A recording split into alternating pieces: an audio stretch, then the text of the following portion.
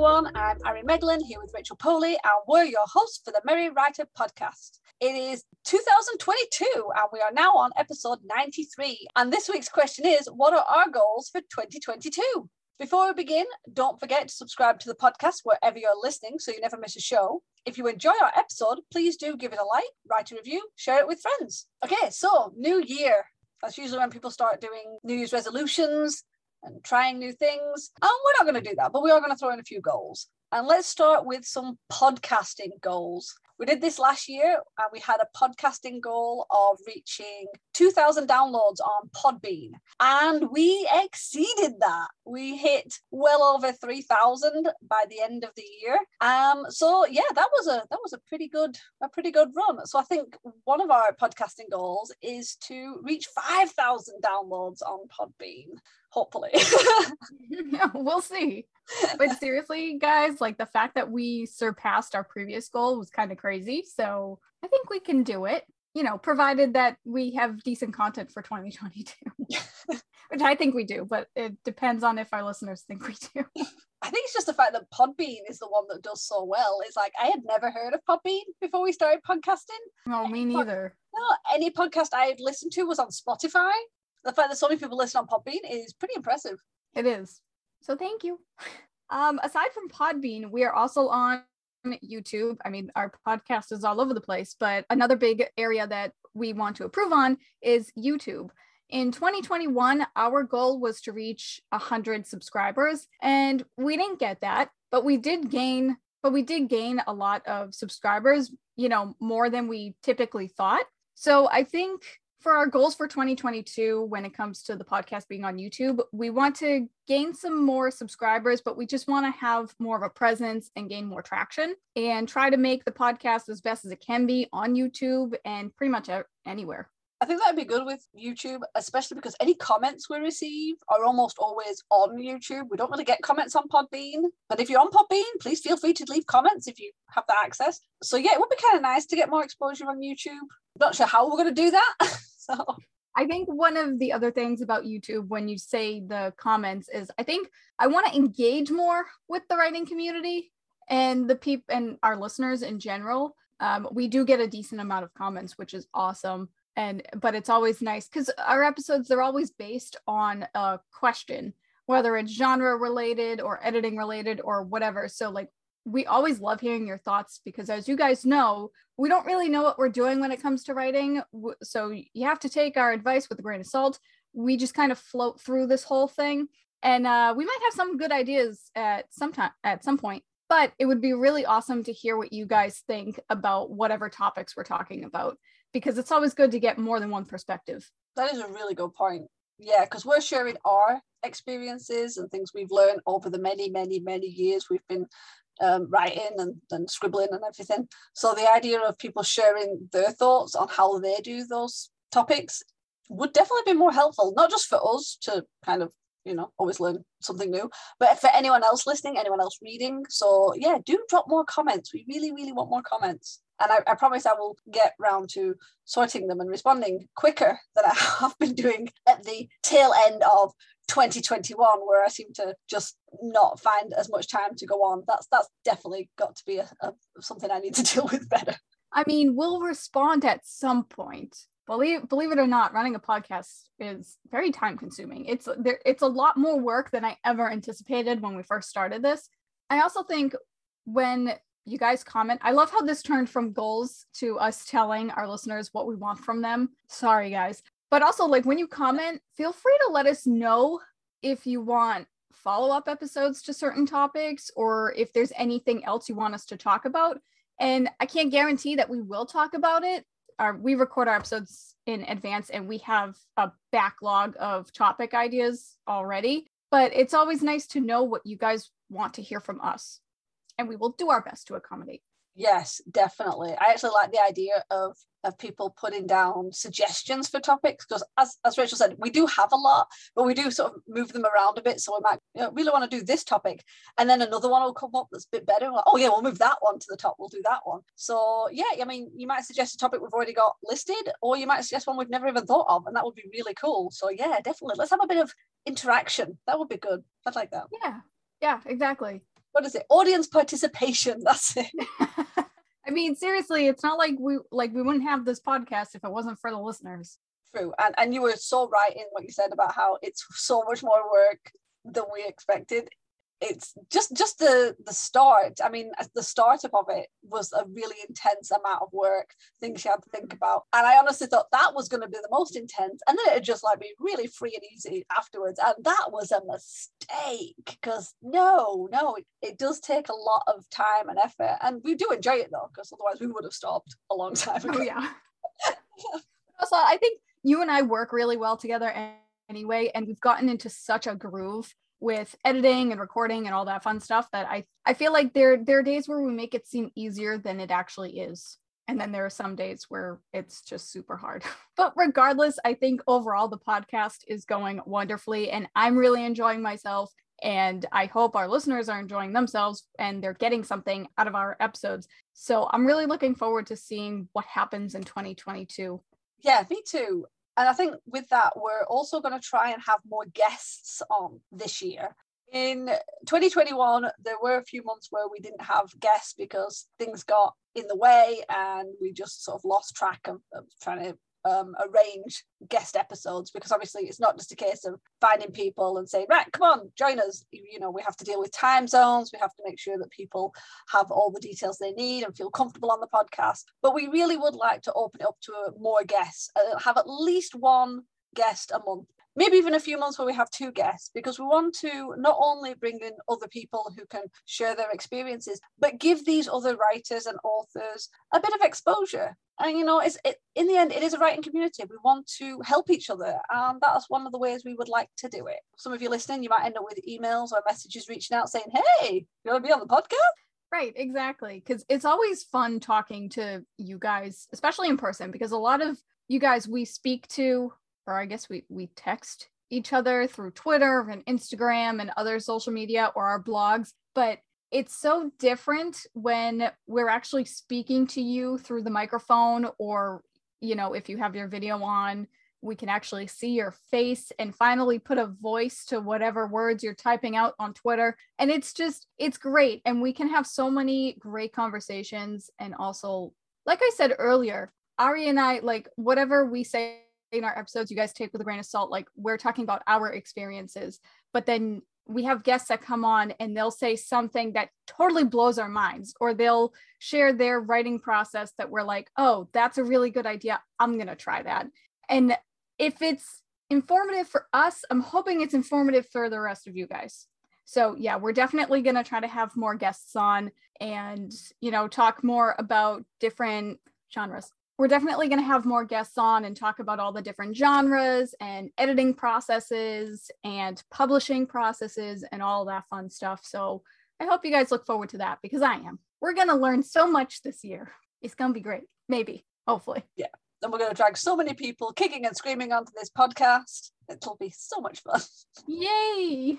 And, and obviously, if we do reach out to you, I think the, the most common comment we receive is, I've never done this before. I'm really nervous. So are we. Seriously, we're on what episode 93? We still get nervous when we come on. And we do try and make it fun and we do try and make it nice and informal and, and give our guests as much support and help with scripts and details and plenty of time and, and test runs if they need it. So, you know, you can always try it. If you, you know, if we, if we reach out and you want to do it, you know, try it. I mean, if any of you guys, I assume if you're listening to this episode, I'm sure you've listened to previous episodes. So you guys know how informal and sometimes crazy we get when we're recording. If you're ever a guest, then by all means, there's no need to be nervous because we're, well, we're kind of nuts. So maybe you should be nervous. I don't know guess you could take it either way. I think it'd be fun to be a guest because you get to see behind the curtain. Because everyone listening to this is listening to the edited version where we sound grey and we've got rid of all the annoying things and the, the mess ups because we do mess up. I mean, obviously you've heard that from the blooper episode recently. But yeah, so instead you get to come on, you get to see us, and you get to listen to all the nonsense that we cut out of the show because it's obviously just useless. So yeah, see, you get behind the scenes treatment. That's what it is. That is true. That is true. Who wouldn't want behind the scenes of uh, the Merry Writer podcast? We're a delight. we are. We really are. Okay, I, th- I think that'll have to be all of the podcast goals because otherwise, if we add any more, we'll just get a bit crazy with everything, and we'll we'll. Mm, Here I am being like, we need to stop talking.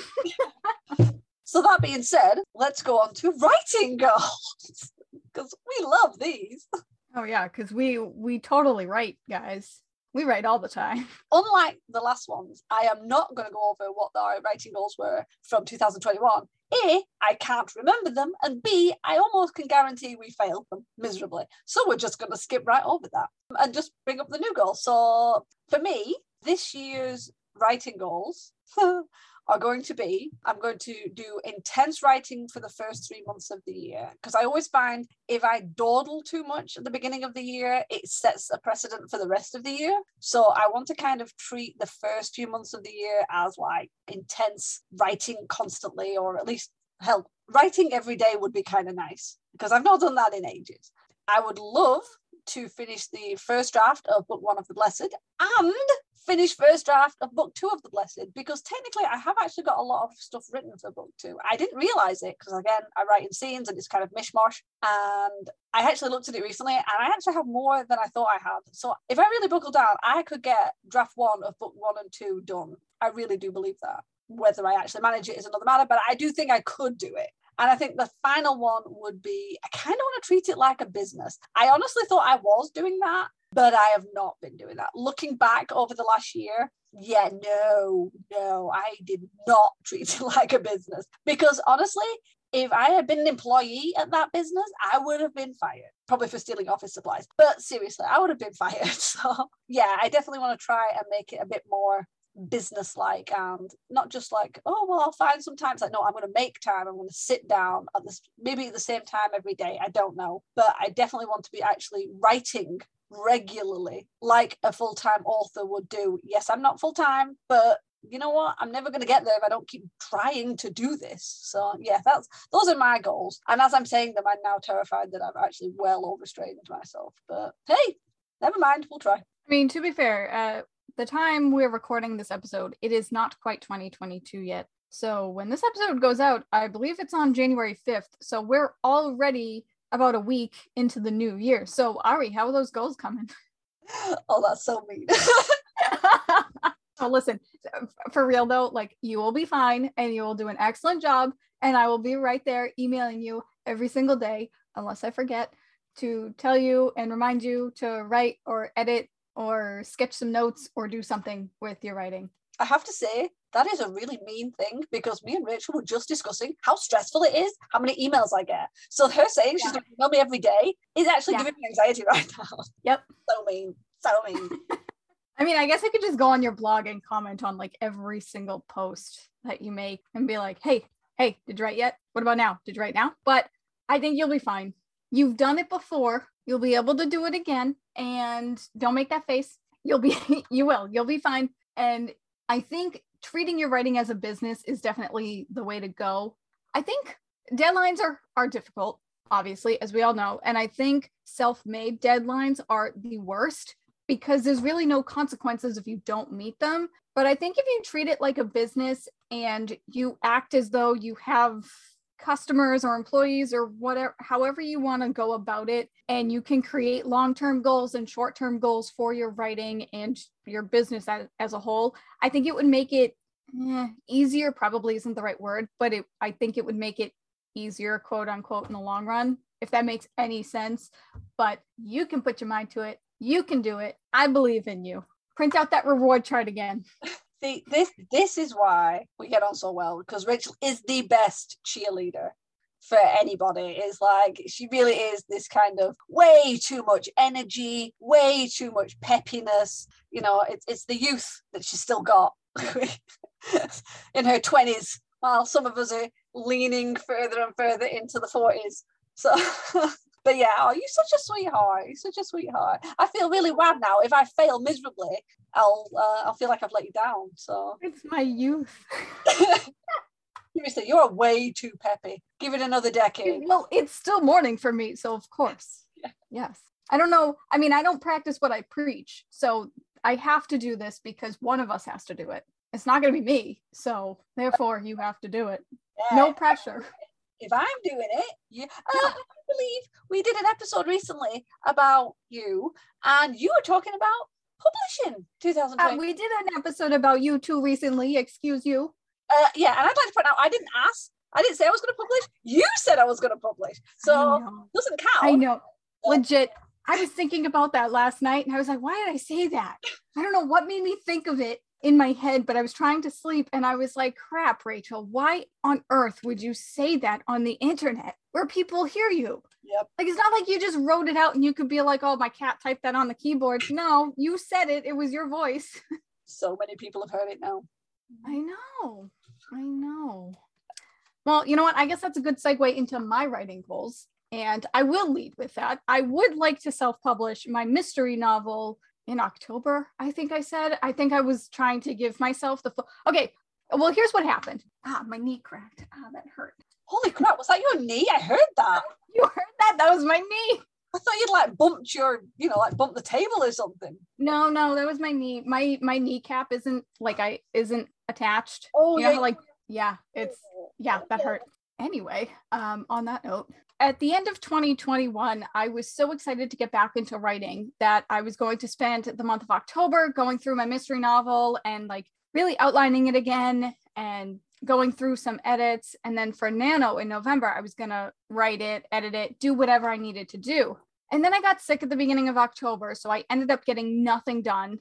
And then Nano was a complete disaster. So I I still hit the word count though. I don't know how I did it, but I still did it. But none of it was for my mystery novel. It was all short stories. And I think I only got like one decent short story out of that, but whatever. So now that it's January, I think I, I definitely still would like to try to self publish by the end of the year. But I think at this point, if I can get my novel ready to, for an editor, like an actual editor, someone that's not me, I think I'll, I'll be happy with that. So even if like the self publishing part gets delayed, like whatever, at least I'm making progress. I'm moving forward in the right direction. And hopefully I'll be able to hire an editor and maybe a book cover artist too. And we'll just see how it goes. But aside from aside from working on my mystery novel, I just want to, like Ari, I want to get back into a writing routine because I noticed that the Nano website, you can create projects at any time in the year now, even if it's not a Nano month. And I know I usually tend to write best during the Nano months because I have the progress bar. So I think I'm going to utilize that website more and try to create projects each month, whether it's writing or editing or, you know, whatever. So hopefully I can get back into a better writing routine. I didn't know that about Nano because I have done it once. and I did like that kind of progress bar up until it stopped because I'd stopped writing. But it is a kind of nice visualization for how you're doing. And I like the idea that they, they're allowing it all the time now. That's a that's not bad. Maybe I'll have to go back onto that and have a look at that because yeah. Yeah, they changed their website. And the reason they changed it was so that people could write like and utilize it all year round but i could never i was like they they don't have anything unless it's during the nano month. And then the other day when i was on the website i noticed that it says announce new project and i clicked it and i was like oh man you have the option to do a non nano month and you can do it whenever you want. So they did in fact make that change. I just i was too stupid to realize it. The new website has been up for like a year now i think and I'm just now realizing it. But yeah, so hopefully, if I can utilize that, hopefully I can get back into a better writing routine. Or no, I will. Not hopefully, I will. I will get back into a better writing routine. Yes. Yes. Or in a writing routine. Thing is, you always do so well with Nano, like seriously. So having that website and the chart and everything throughout the rest of the year, I can I can totally see you just blazing through. We're seriously waiting. We want to read this book. Okay, want to read George's story. I want to read it too. Well, then finish it. Send I'm it trying, out. Ari. so, but yeah, I think I think we're probably because because we talk. Obviously, we talk all the time with the podcast and that. So we're probably going to be like cheering each other on and accountability, but accountability, but accountability, but. I can't say that word. Account accountability buddies. Accountability buddies. Accountability. There he is. Account- accountability buddies. It doesn't sound as good. Accountability buddies. Accountability. accountability buddies. That yeah. actually does have a nice ring to it. Yeah. We're accountability buddies. We're going to be accountability buddies. Yeah, I think that's But we might actually manage it. We did try halfway through the year, and then, like I said, you go sick, I go sick.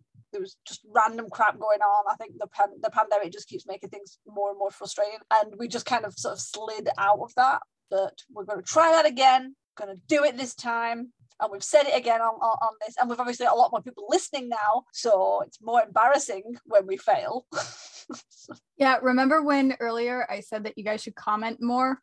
I'm not saying you should do this but you can comment and be like hey how many words did you write this month? Please don't do that. That will make us sad.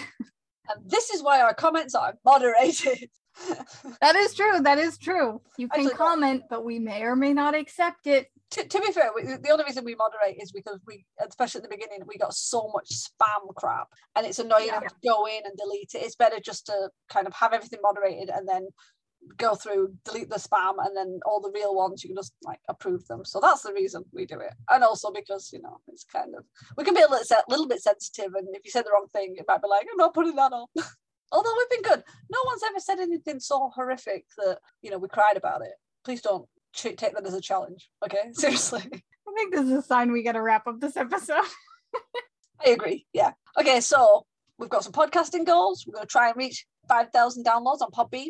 We're going to try and gain more exposure on YouTube. You can help us with that if you want to pop over to YouTube and subscribe and maybe leave us a comment or two. That would be really helpful. And obviously download on Podbean too. Uh, we're going to try and have some guests. So you know, you know, look out. We might be reaching out to you, asking whether you want to join us on the podcast, and hopefully you will. We've both got our own writing goals, hopefully to finish our stories, either first drafts or up to getting it edited. And yeah, just trying to trying to actually become writers again.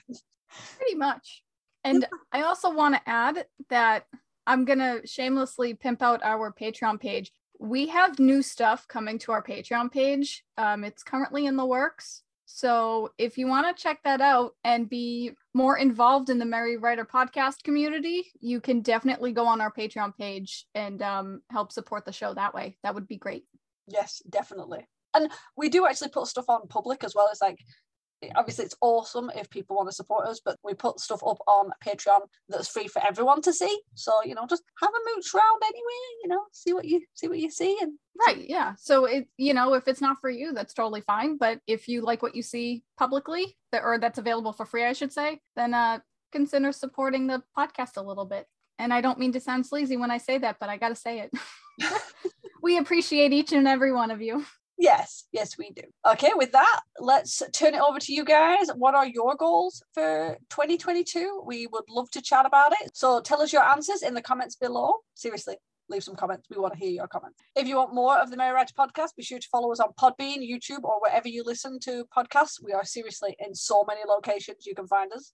And as Rachel said, for as little as $1 a month, you can join us on Patreon at patreon.com forward slash the Merry Writer podcast for bonus content. It helps to keep our show going, and we really, really do appreciate all the support. In the meantime, tune in every Wednesday for a new episode of the Merry Writer podcast where we ask all the right questions. Thanks for listening. Bye. Bye. This podcast is brought to you by Arguments Over Tea and Coffee. Which side are you on? The music titled Inspired is by Kevin MacLeod, licensed under Creative Commons 4.0.